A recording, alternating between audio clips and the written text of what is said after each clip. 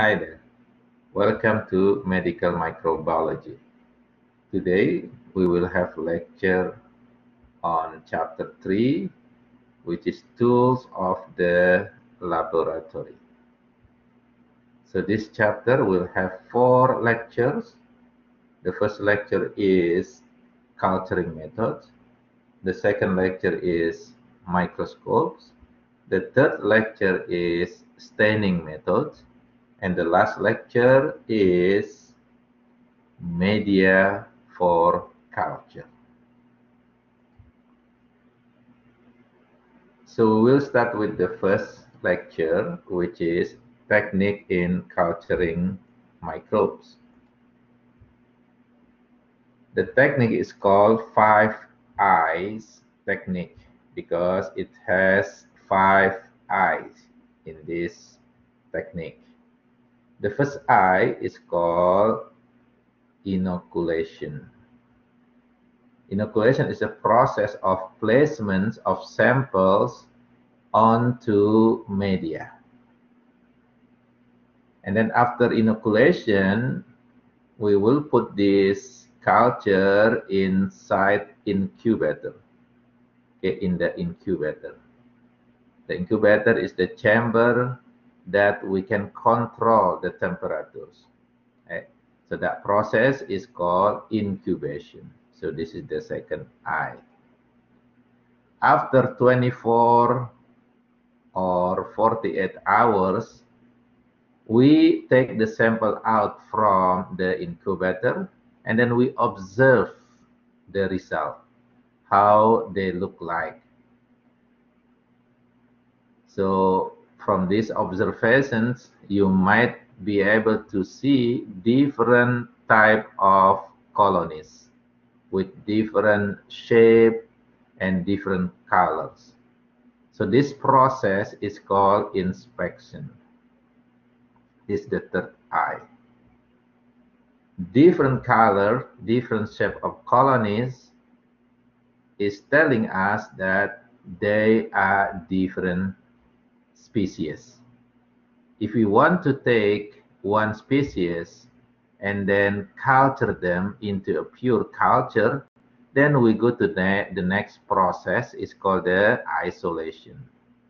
So isolation is the process of isolating specific bacteria based on the colony and the shape and then put it in a new culture media.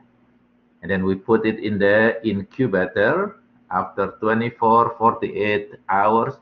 Then we will have the bacteria that will have the same colonies, the same shape of colonies, the same colors of colony. Because what? Because they are pure culture, because they are the same species. And then if we want to continue to identify to identify what species is that, then we go to the next process is called the identification. There are three different methods to identify the microbes. The first one using what we call the phenotypes, which is the characteristic of bacteria or, or organism based on their shape, for example, uh, colors. The second method will be using DNA. This is what we call the genotype. And the last method will be using the antigens antibodies complex. This is what we call the immunology method. Right, so we will learn the identification of microbes in chapter 17.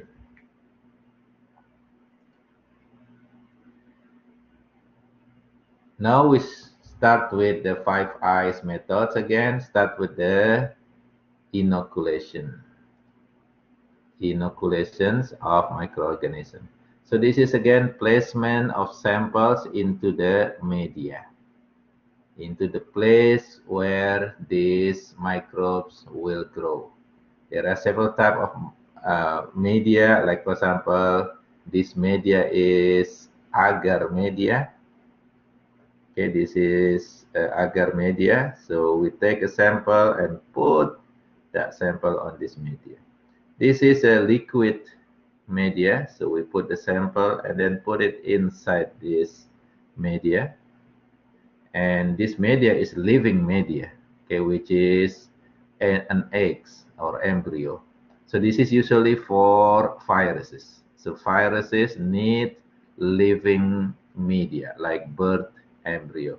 So this process is called the inoculation, placement of samples into the growth media. The next process is incubation. Again, incubation is placement of the culture media okay, into the chamber. So that chamber has specific temperatures, so we can control the temperature with, uh, whether warmer or colder temperature. It is based on what type of bacteria that will be uh, used.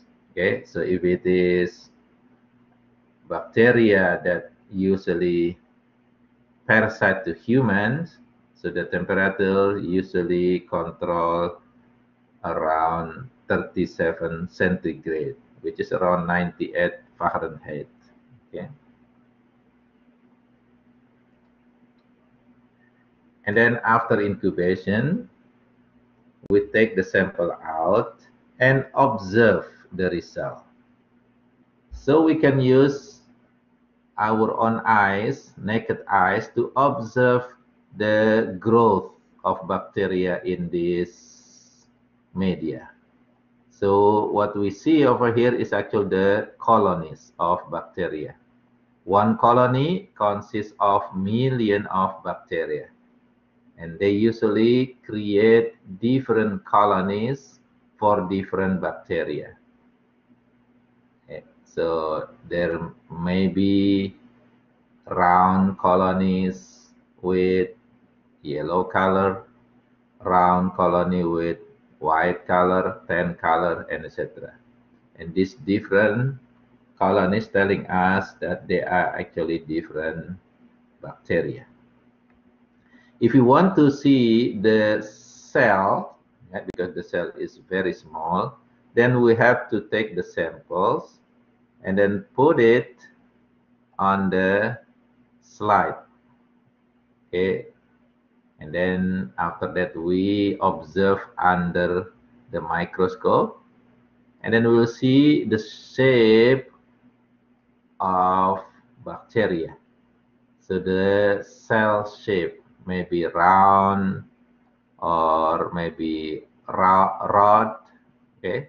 So round cell is called coccus the rod cell is called the bacillus or maybe there are some cell that look like a spiral. Okay, so this is cell shape. Okay, each individual cell of bacteria. The colonies again is consists of million of cell. So we cannot really see the cell shape from the colony.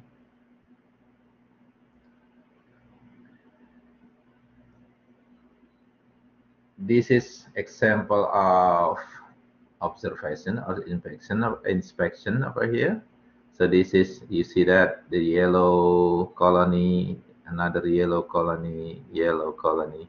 So the one that has the same shape and the same color is actually the same bacteria.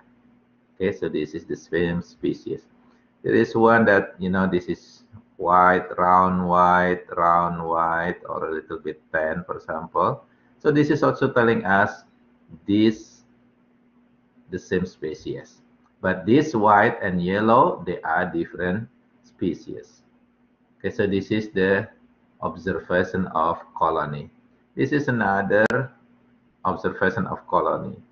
Okay, with different color. This is white color, and even it doesn't have a round shape, for example.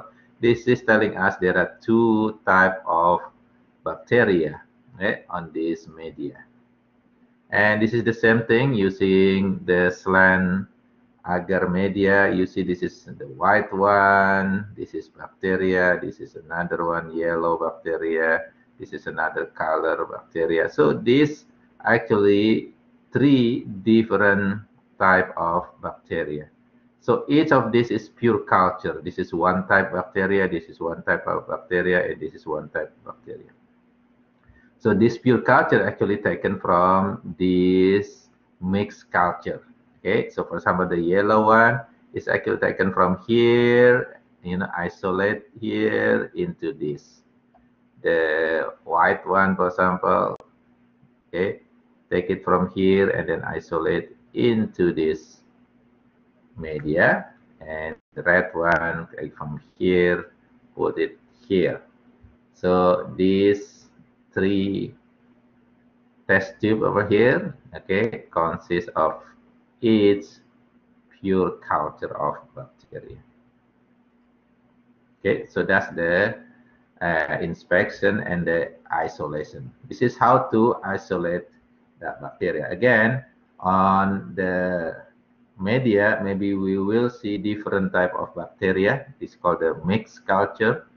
And then we take just one bacteria here, maybe yellow here, and then the white one here.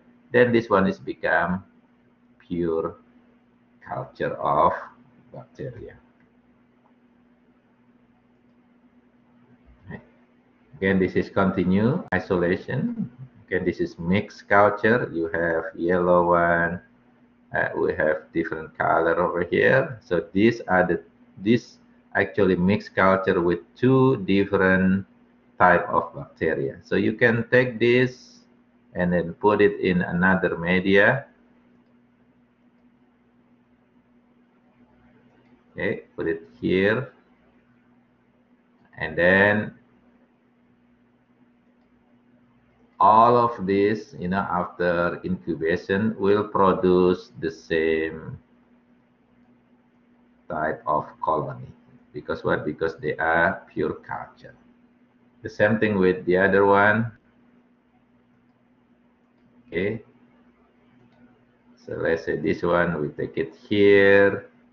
We put it in different media and then incubate them. Then you will have the same colony over here because this is also the pure culture. So this is what we call the isolation isolate specific bacteria to grow a pure culture. There are several techniques for isolation. Eh? The first technique is called the streak technique, which is we streak, eh? we streak the media using the uh, inoculating loops. So usually we make four streak eh? on the media. So this is the first streak like this. Okay,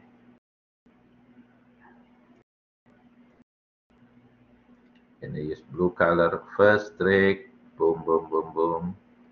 Okay. And then the second streak will be as I use black color going here. Okay. And then the third streak will be so use this color going here. Okay. And the last one from here to here okay? So basically you will have four regions okay? Four quadrants. The first quadrant the the blue one over here will have a lot of bacteria because this is the first streak still a lot of colonies. And then on the second streak the colony will be less okay? As you see over here this is the first streak so many colony and then become less and then the third one become less colony and the fourth one is become less colony actually over there the colonies will be separated. So you will be able to see this individual colony over here. So this is actually the fourth streak over here. The first one here, you don't really see, you don't really see the colony. So this one is really difficult to see the colony because they are still combined together. Okay, so when you do the second streak, the third streak, and finally the fourth streak, on the fourth streak, then the colony will be separated. You should be able to see the colony easily. So that's the first technique, it's called the streak plate. The second technique is called the pour plate technique, which is dilution. Okay, you should dilute the first culture, okay, and then uh, grow it in the agar media, and then dilute it into the second, you know, uh, culture, and then put it in the agar media, and then dilute it again, and then put it in the media. So number three over here will give us the spirit uh, spirited colony. So it's going to be easy to see the colonies. On the first one over here, it's really difficult to see the colony because they just combine together. Okay, so this is what we call the pour plate technique. The last one is called the spread plate technique. Okay, using you know put this uh, cultures okay on the agar media and then spread it with the hockey stick. Spread it evenly and then put it in the incubations and then after 24 or 48 hour then we observe the result. And then you will see that colony. So each small dot yellow dot over here is one colony. And the other color is also the other colony Okay, so this is the third technique, which is called the spread plate technique to isolate bacteria. The last I will be the identification. Okay, if we really want to know what bacteria that we have, for example, if we take a sample from the patient and we want to know what bacteria that actually causing the disease, then we have to continue with identification. Again, for the identification, there are three methods using phenotype, genotype, or immunological method. Again, we will study this identification method in chapter 17. Okay. So using morphology, which is uh, phenotype. So this is phenotype uh, method.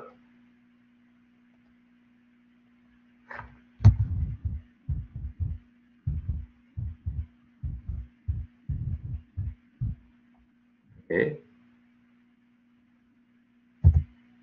And then this one using DNA is gonna be genotype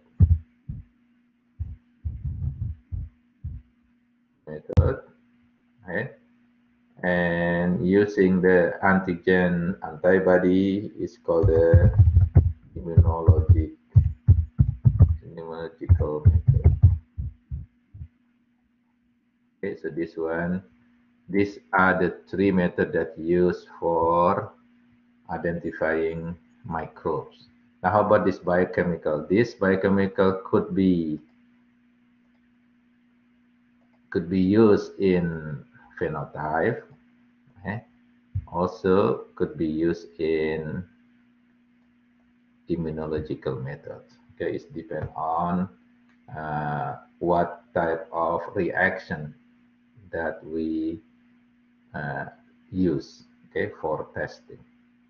So again, for the identification of microbes, there are three methods, phenotypic, genotypic, and immunological method.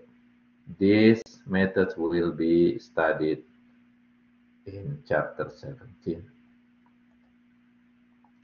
I think that's enough for the first lecture on chapter 3. We will meet again on the next lecture, which is microscope. Goodbye.